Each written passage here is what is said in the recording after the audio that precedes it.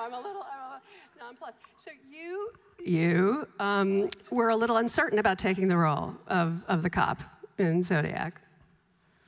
I think I've been uncertain about just about every role. my, my team calls me Mark Waffalo.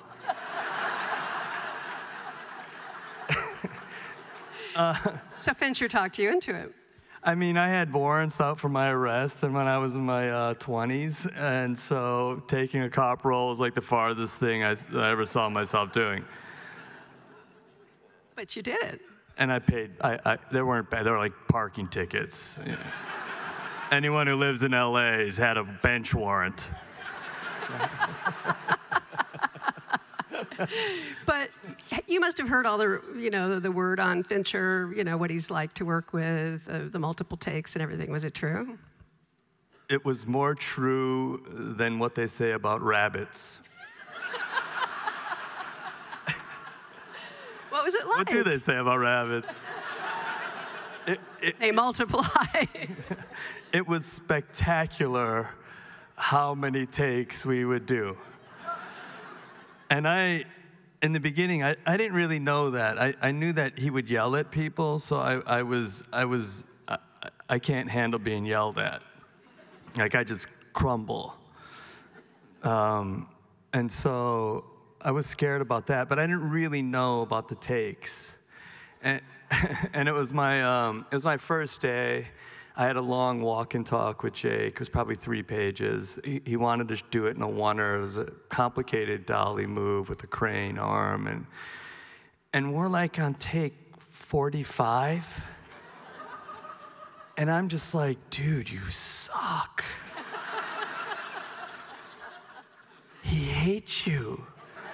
He like knows you're a fraud. And at one point he comes, leaves the monitor, he's like coming straight for me. And I'm like, yep. I told him Sean Penn would be better in this role. I'm gonna get paid anyway. Uh, I'm the, you know, and he, and he literally just, he walked straight toward me, he walked past me, he moved uh, a background artist literally two inches, turned around, walked back, patted me on the shoulder, and went in, into his, uh, his perch. And I was like, oh, he's a full frame director, and I just happen to be about 10% of that frame.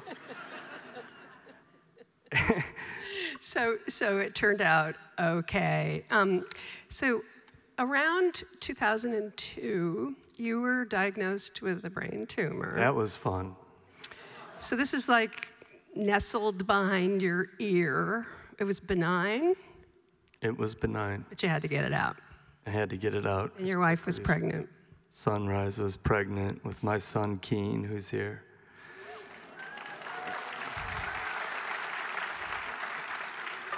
Hey, son. And uh, yeah, it was really scary.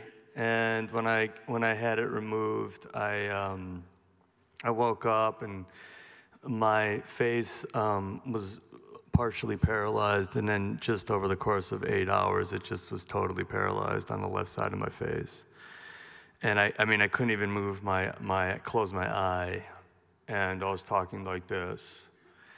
And I was like, oh no. Who is going to hire a paralyzed actor's with a paralyzed face, especially when he can't even close his eye? And uh, yeah, that, that, was a, that was a really hard time. And the recovery was really hard. And that was a, a really hard time. Uh, and I just had the most amazing partner, uh, Sunrise.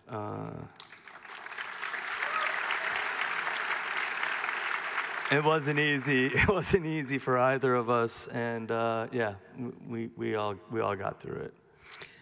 Yeah, and you recovered completely, except for maybe a little hearing loss. Is I, that right? I lost my hearing.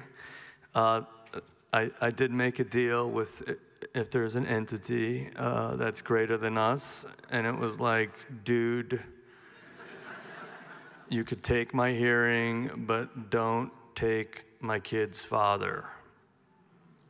And that's what happened. the moral of that story is be careful what deals you make. I probably could have got away with less. So the another cool movie that you made during this time was The Brothers Bloom, which is um, Rian Johnson's follow-up to to Brick, and it's this really fun. I don't know if it, how many of you have seen it, but it's a twisty, entertaining con man movie with you and Adrien Brody and Rachel Weisz. Um, but you went up for one brother and wound up playing the other. Something like that. I think I might have thought I was better for uh, a part that had already been cast with a pretty sizable star, um, Adrien Brody. And yeah, he came, he's like, Well, I really want you for this. And I said, uh, I don't know if I could do that. And he said, I think you can. And that seems to be a theme in my uh, career. So you guys were running around the streets of Romania, Serbia, Greece, Montenegro. You were in Prague. How much fun was that? It was the best. It was, uh, we were there for months. I'd never really traveled uh, the world in that way. And we were like this gypsy, no, not, not gypsy, you can't say that anymore. We were like this little Roma circle just traveling um, Eastern Europe. Uh, and it was so low budget, and we were, it, it, it was just such a beautiful time. And uh, we were making this great movie with a great director, and it was so fun.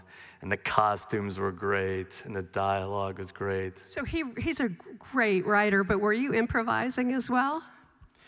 Not really. He doesn't like you to improvise.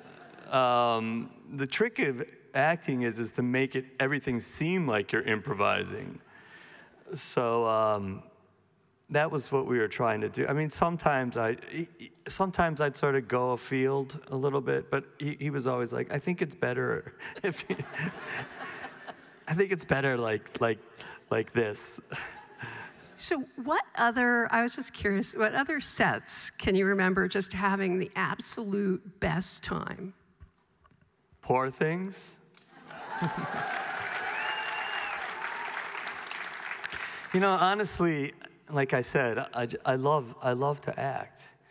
And uh, even when it's bad, I'm still uh, having a great time.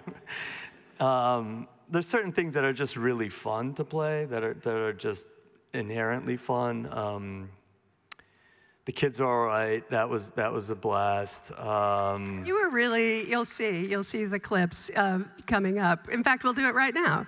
We're going to look at the Brothers cool. Bloom, and the kids are all right, and you'll see why I might say that he's sexy in this one. I like that.